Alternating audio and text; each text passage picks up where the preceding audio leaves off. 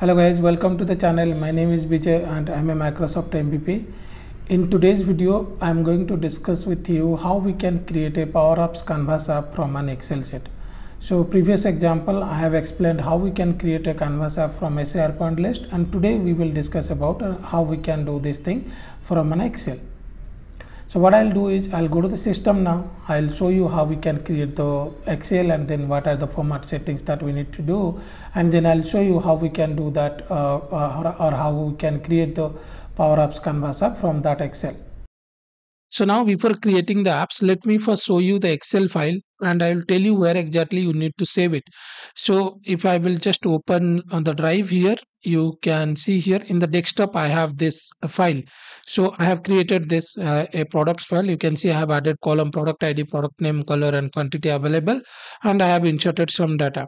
So first time if you are creating the Excel file, what you should do is like I will uh, take in another sheet and I'll show you now suppose I want to add the column uh, names here. So I'll suppose add here employee name and then probably I'll add another column which is uh, let's say the designation. So I'll put here designation.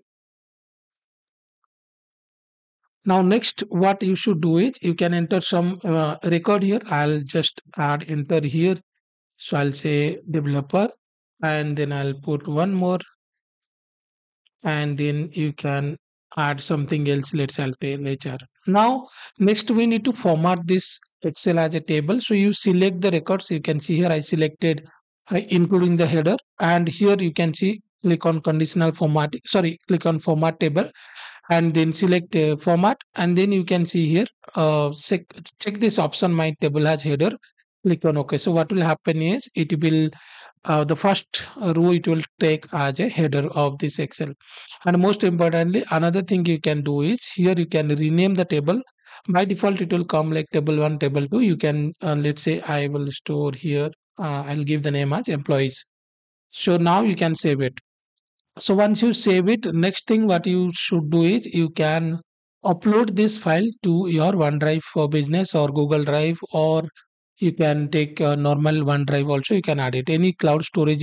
So once you have the Excel ready, so what you can do is you can upload this file to OneDrive for Business or Google Drive or OneDrive, anywhere you can put it in any cloud storage. Now what I'll do is I'll open my OneDrive for Business. You can see it here. Go to my files. If you will see here, I have already uploaded my file here, products. This is the same Excel file which we created over there. Now I'll open uh, make.powerapps.com you can see it here. So once you open it you can uh, you will be able to see uh, in the left navigation click on create and then you can see here you can choose uh, the start with. So i'll choose here excel. So once you have excel here you choose it. You you can have a connection.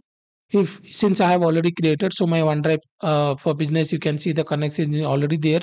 So you can select it and then you can choose the file. So in this case if you'll see that is the product uh, products.xls file so which and and this is the table name. So if you have multiple tables it will show you and then you can select which table you want to create the app and then click on connect. So once you click on connect it will take some time and uh, develop a fully fledged uh, you know uh, app for us so that we can use it.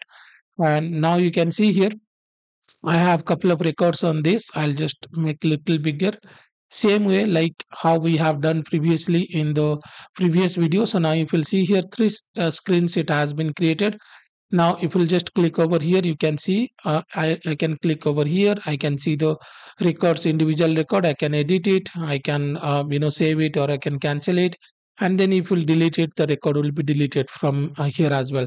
So what i'll what we will do here is uh, in fact you can just close it and let me just close it. And you can see you can uh, give the name for it. So i'll say excel demo app.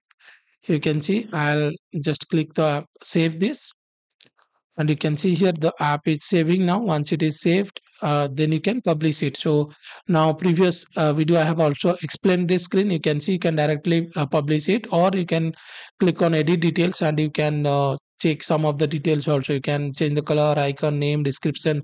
You can even cha uh, change the orientation as well on this thing. You can do it.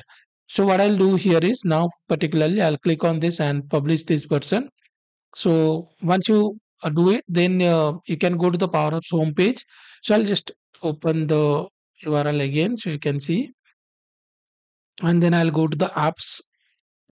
The app name we gave is Excel demo app. You can see this one. So you can click over here and click on play. So now what I'll do is you can add some item into it. Suppose I will say the color is green and then product ID is test 01 and then product name will give test and quantity let's say you'll give right now. You can see the column orders are not correct. We will see on the formatting section but now if you'll see here now i saved it. So you can see here the item has been saved. Uh, you can see probably this item uh, green color test 01 and the, these things. So now uh, where the data is saving if i'll go to my excel file i'll just click on this so that i can see this excel file. You can see the last record which is the record which we created now.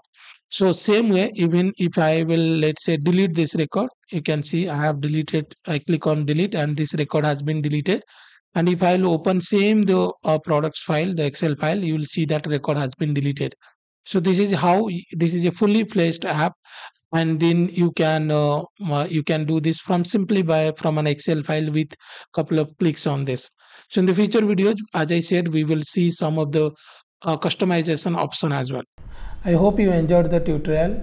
In the upcoming videos we will see how we can customize power apps forms and also we will discuss about functions and all these things.